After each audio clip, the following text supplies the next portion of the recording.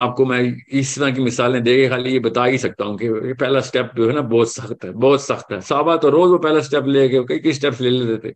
इसका मोमेंटम बनाना पड़ता है।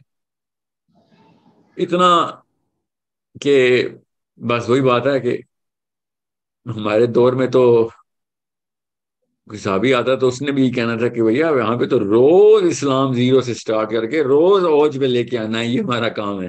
ये वाकई बड़ा सख्त जमाना है आपके। नबी इस्लाम ने शाह माना था, बद से बदतर का सफ़र है, आप पता चला क्या था वो।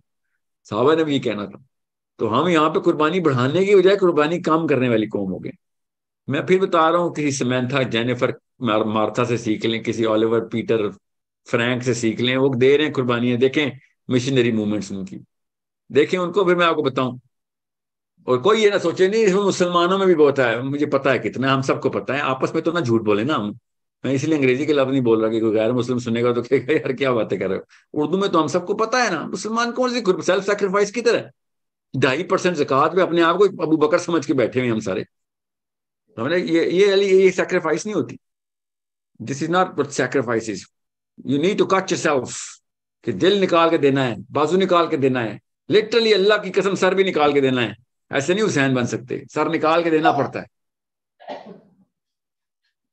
सो so, शुरू हो जाए शाबाश। अपने ऊपर मुहासबा करना। किसने आपसे कहा कि यू सेक्रीफाइस शुरू करें? पहले दिन मैं आपसे कह रहा हूँ पहले मुहासबा शुरू करें। Be honest be honest your कि भाई नहीं मेरे से नहीं होगा। या मेरे से नहीं हो रहा। या मौके इतने मिल रहे हैं और फिर भी मैं नहीं कर रहा ये स्टेजेस हैं। फिर आपको साइकिल वाले से लेके मर्सिडीज वाला रेडी वाले से लेके पार्लियामेंट वाला, हर बंदा आपको रिमाइंडर के तौर पे मिला करेगा। क्योंकि आपकी प्रैक्टिस हो गई होगी एक्सरे की, कि ये सेक्रीफाइस के मौके हैं। हर बंदा आएगा आपको, खुदा की किस्म, कई दफ़ा तो अल्फाज भी ये बोलेगा।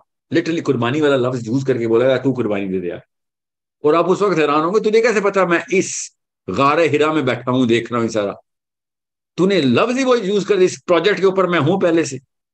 मैं आपको तजर्बे से बता रहा हूँ, इसलिए आपसे कह रहा हूँ। इट्स नॉट इजी या इट्स नॉट इजी इजी होता तो फिर जन्नत मिलती। मुश्किल है। करना है लेकिन। क्योंकि ये ना ना किया तो दूसरी ऑप्शन कोई नहीं है। बीच में न्यूट्रल ग्राउंड नहीं है या जन्नती है, दोस्ती या फिर आम बंदे। ऐसी कोई ऑप्शन नहीं। या इधर या उधर। ठीक है, आम बंदा अच्छे मौसम में बैठ जाओ, दरख्त मिलेंगे मगर धूप नहीं होगी, या ऐसा कुछ इलाका नहीं है, ठीक है? जिसको जितना मर्ज़ी एक्सप्लेन कर लें आप, ठीक है, वो आराम